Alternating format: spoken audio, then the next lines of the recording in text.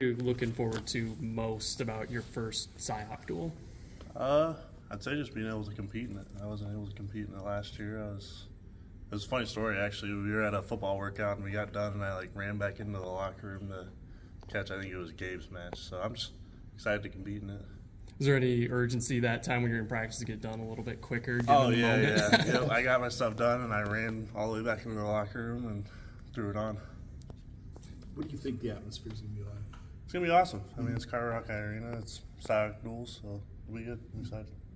growing up as an Iowa, you know, an Iowa wrestler, this is uh, a big thing for you know youth across the state. Do you have any memories from Cyhawk duels when you were younger, growing up?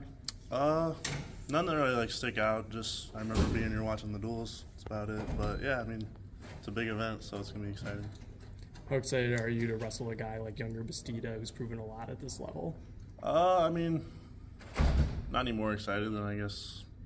Like I, I mean, I, I go into every match with the same mentality, so I mean, it's just just another match, so it doesn't really matter who I have.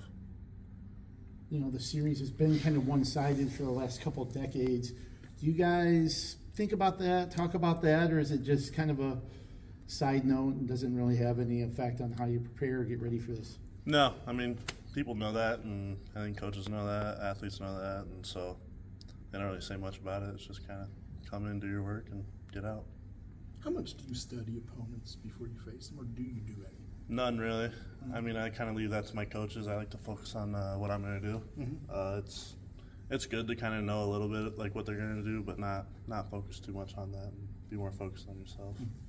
One of the things that Tom has said a lot about you is just being conscientious and being a learner. So throughout the first couple of matches, what has been their message to you about, you know, throughout the season, what you've kind of taken the most from in those matches so far? Yeah, I'd say the biggest thing is kind of like I said earlier, just like taking everybody the same. I mean, my first match, my mindset was a little different compared to the next match, and they just every match has to be the same mindset. When that happens, a lot of good things will happen for me.